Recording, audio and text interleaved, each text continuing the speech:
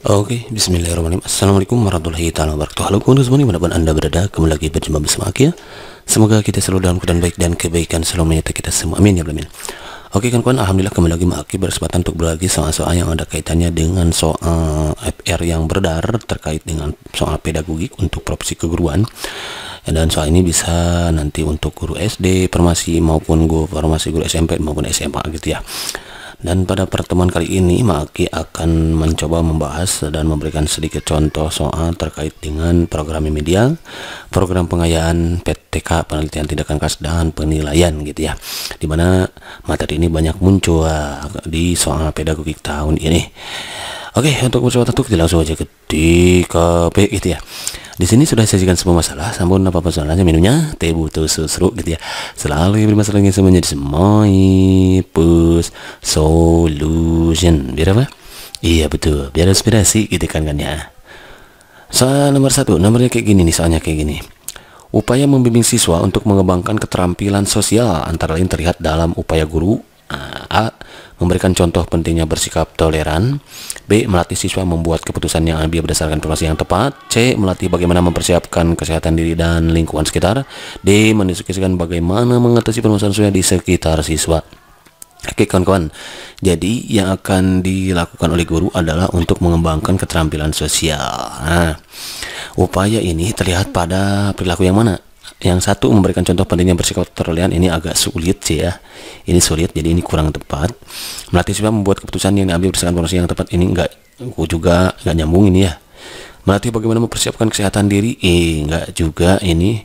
Mendiskusikan bagaimana mengatasi permasalahan sosial di sekitar siswa. Nah ini dia. Jadi jawaban yang tepat untuk soal nomor satu ini adalah yang D kawan-kawan ya jadi upaya guru untuk mengembangkan keterampilan sosial itu terlihat dalam upaya guru mendiskusikan bagaimana cara guru mendiskusikan bagaimana mengatasi permasalahan sosial di sekitar siswa. Misalkan kalau ada misalkan kalau pelajaran IPS bagaimana untuk mengatasi masalah kesenjangan sosial gitu ya di pertemuan makia sebelumnya ini terkait dengan karakter penguasaan karakter atau karakter didik berarti ya penguasaan pengelolaan pembelajaran gitu juga ya. Bisa masuk ya. Oke okay, next soal number two. Nah di sini nih sudah sedikit semua masalah namun apa pun masalahnya minumnya teh butuh seru gitu ya. Selalu ada masalah yang sering menjadi plus solution. Biar apa? Iya betul. Biar inspirasi gitu kan ya. Soalnya kayak gini nih kita baca bareng-bareng lagi ya Salah satu upaya guru dalam melaksanakan langkah-langkah perbaikan pembelajaran yang telah dirancang melalui penelitian tindakan kelas antara lain bla bla bla A. Guru meyakini ada masalah dalam pembelajaran selama ini yang memerlukan peningkatan. B. Guru melakukan introspeksi terhadap kelemahan yang ada dari aspek guru. C. Guru merancang upaya latihan mengadakan soal-soal untuk persiapan ujian nasional. D. Guru mengevaluasi kembali rancangan mengatasi kelemahan yang ada. A. Salah satu upaya guru dalam melaksanakan langkah-langkah perbaikan pembelajaran yang telah dirancang melalui penelitian adalah Guru meyakini ada masalah dalam pembelajaran selama ini yang memerlukan peningkatan. Ya, yang ini. Jadi, ini kan kan diadakannya PTK itu dikarenakan adanya kelemahan gitu ya. Adanya kelemahan atau masalah belajar. Masalah belajar yang dihadapi oleh guru dan siswa tentunya. Akan bagaimana hasil belajar yang ren, yang yang kurang dari harapan yang menyebabkan di mesti dibuat uh, eh, PTK gitu ya penelitian tindakan kelas gitu ya. Baru dibuat PTK kawan-kawan dianalisis dari hasil belajar keputusan belajar bahkan dibuat PTK gitu. Jadi jawaban yang pertama adalah yang A gitu kan Hansen ini ini ini mantap kalau mantap next soal nomor 3 nah di sini sudah sedikit semua masalah, namun apa pun masalahnya minumnya teh butuh seseru gitu ya. Selalu hidup masalah yang menjadi semua plus solution. Biar apa? Iya betul, biar inspirasi gitu katanya. Soalnya kayak gini Hasil analisis kekuatan dan kelemahan pembelajaran yang telah dilaksanakan dapat digunakan guru untuk Nah, A mempertahankan kebiasaan mengajar karena sudah lama dan banyak pengalaman. Sombong ini ya, nggak usah ini nggak ada pilih ya. B. Mengusulkan penyediaan media pembelajaran yang canggih untuk meningkatkan pembelajaran. Wah, ini juga sama, ini terlalu alay gitu ya. C. Merancang ulang rencana pelajarannya berdasarkan analisis terbukti memiliki kelemahan. Nah, bisa jadi. D. Melakukan latihan tambahan berupa tes untuk para siswa. Enggak, ya. Jadi, hasil analisis kekuatan kelemahan. Jadi guru itu kan menganalisis kekuatan kelemahan pembelajaran yang telah dilaksanakan. Nah, kalau didapatkan atau ditemukan adanya kelemahan dalam pembelajaran yang dapat dilihat dari rendahnya kemampuan hasil belajar siswa, atau terendahnya ketuntasan belajar siswa, maka guru harus merancang ulang rancangan pembelajaran ya. Dirancang ya bisa disebut PTK nanti ya dibuat PTK gitu dirancang dengan menggunakan media dan media metode tertentu. Nah, bisa dinyatakan dalam PTK atau enggak juga enggak apa-apa dia. Kemudian untuk perbaikan ini namanya proses refleksi guru gitu kawan-kawan ya. Direfleksi bagusnya gitu kawan-kawan. Nah itu dia. Jadi jawabannya pakai tadi yang C merancang ulang rancangan pembelajaran yang berdasarkan analisis tuh. Jadi kan setelah dianalisis terbukti memiliki kelemahan gitu kan kawan ya. Kelemahan itu bisa tercermin dari rendahnya ketuntasan belajar siswa. Nah gitu kan kan bisa dibuat ke PTK bisa enggak juga enggak apa-apa ya. Kalau misalkan kawan-kawan sebagai guru ingin membuat PTK enggak buatkan PTK-nya misalkan ya. Jadi terbukti meningkatkan hasil belajar ini. Gitu kan kan ansen. Ya bina jadi setelah itu mantap kan mantap. Next soal nomor berikutnya. Di sini sudah sekian sebuah masalah namun apa pun salahnya minumnya teh butuh seru gitu ya. Selalu ada masalah lagi semua just my push solution. Biar apa?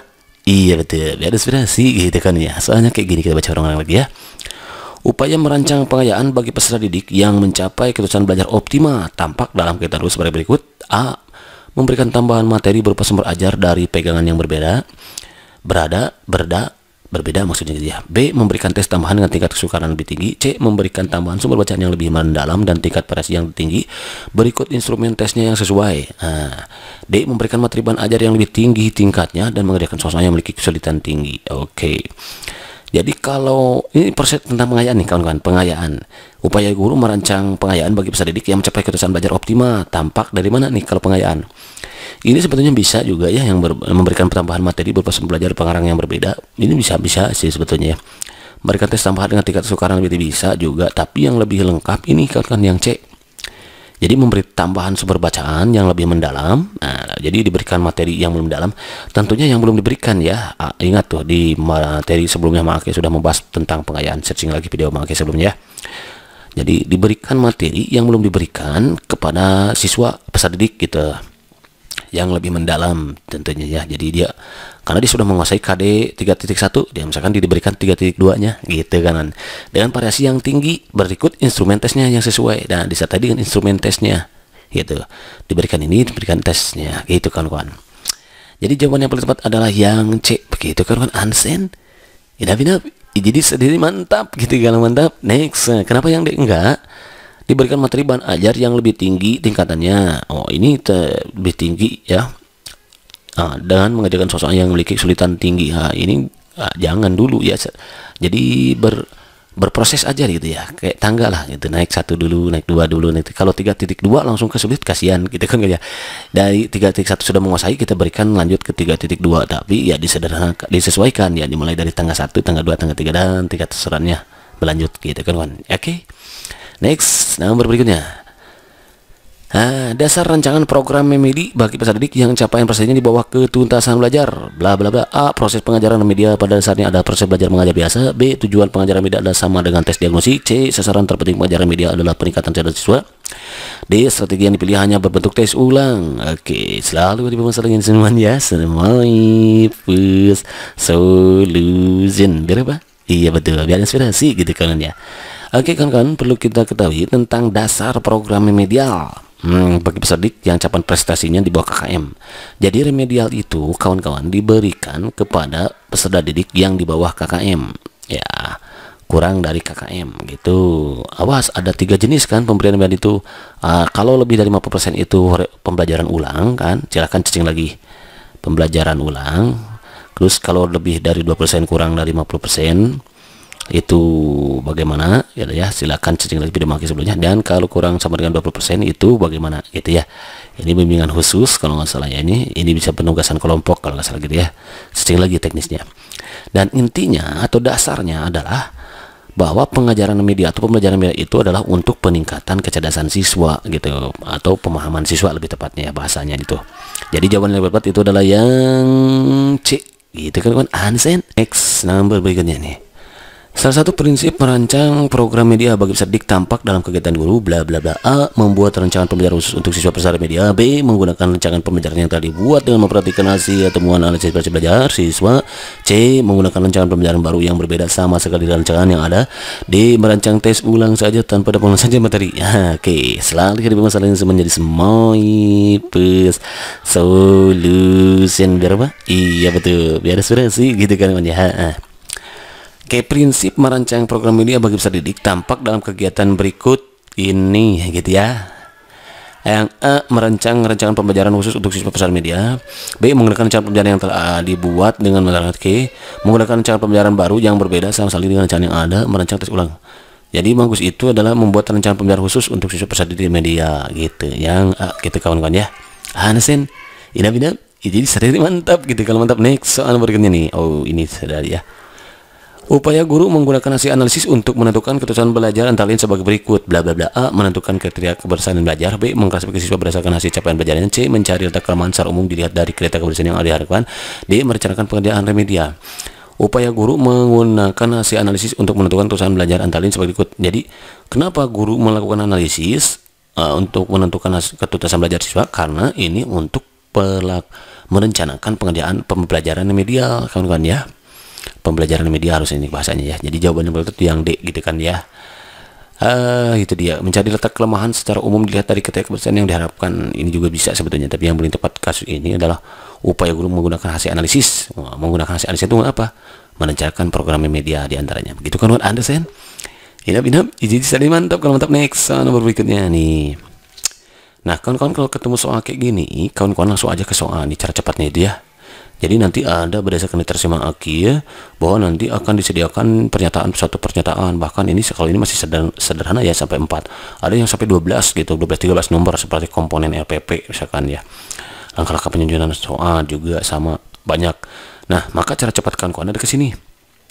Pernyataan di atas yang merupakan langkah guru mengeksplorasi hasil analisis versi belajar apa? Yang 1 2 1 3 2 4 3 4. Mana yang sering digunakan? Satu. Coba satu, mendata siswa yang memiliki kecerdasan IQ tinggi eh, ini hasil analisis. Yang kedua menganalisis soal yang paling banyak salah ini bisa jadi. Tapi ini nomor satu ini ke agak ke ini ya agak kurang sebenarnya ya. Satu tiga tiga menganalisis latar belakang sosial oh enggak nyambung salah. Berarti yang ada tiganya wrong wrong berarti kalau gitu tinggal dua dan empat nih. Dua menganalisis soal yang paling banyak soal salah dan paling banyak benar benar gitu kan ya. Meng, empat menganalisis sistem PBM proses belajar mengajar secara menyeluruh berdasarkan atas dasar analisis pelajaran masih belajar Nah ini dia gitu kan kan ya jadi lebih tepat itu ya menganalisis mengapa sistem proses pembelajaran gitu jadi adanya inter apa langkah guru menganalisis evaluasi belajar itu ini fungsinya ya. Dewa dan empat menganalisis soal yang paling banyak salah dan paling banyak benar dijawab siswa. Dan mengevaluasi sistem PBM secara menyeluruh berdasarkan dasar-dasar hasil penilaian belajar. Begitu kan kan Ansen inap inap ini sudah mantap kan mantap next soal nomor berikutnya. Nih Upaya untuk menganalisis penilaian proses antara lain berupa kegiatan guru bla bla bla. Uh, selalu bermasalah dengan senyuman ya. Jadi smile uh, solution berapa? Iya betul. Beres sih gitu kan ya.